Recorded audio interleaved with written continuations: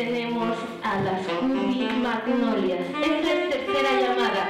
Tercera, comenzamos. Curvy Magnolias es un grupo de mujeres eh, muy solidario. Lo que busca el colectivo es eh, la expresión corporal a través del burlesque. Un proyecto con una perspectiva feminista que lo que busca es que las mujeres nos apropiemos de nuestro cuerpo y nos plantemos frente al mundo y digamos, estas somos nosotras.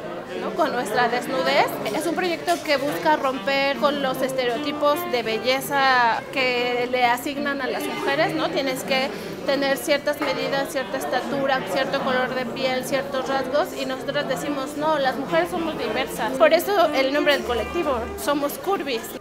Bueno, en lo personal, yo desde niña, pues era la niña gorda, ¿no? La hija gorda, la hermana gorda, la compañera gorda. Pues inclusive, no sé, en la secundaria ya no estaba gorda, pero seguía siendo la gorda, ¿me explico? O sea, uno va creciendo con ese miedo, eh, con esa golpeteo social de tú no perteneces, ¿no? Tú no estás aquí. Porque la sociedad está acostumbrada a esto, es algo que aprendemos desde que somos niños, es algo que, que viene en la tele, que viene en nuestras familias.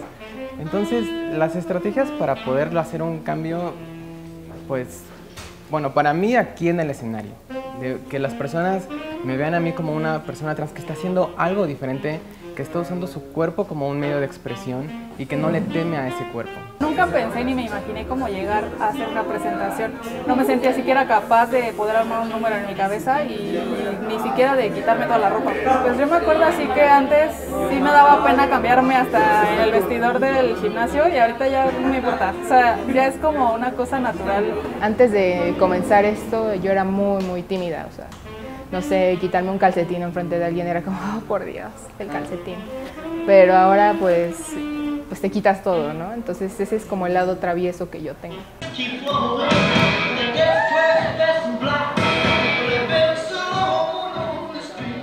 Empecé a ser más libre con mi cuerpo.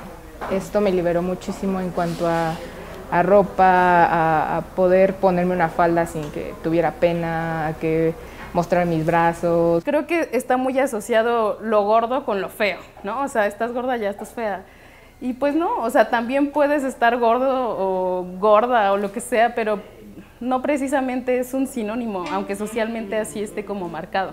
¿No? Somos mujeres que no estamos dentro de esos estándares de belleza y que aún así nos sentimos sexys, nos sentimos sensuales, atractivas y decimos podemos hacer con nuestro cuerpo lo que queramos. Eso incluye presentarnos desnudas ante el otro, ante la otra. Esta sociedad es muy difícil que una mujer se empodere porque siempre está muy aplastada por todo el machismo, el sistema patriarcado.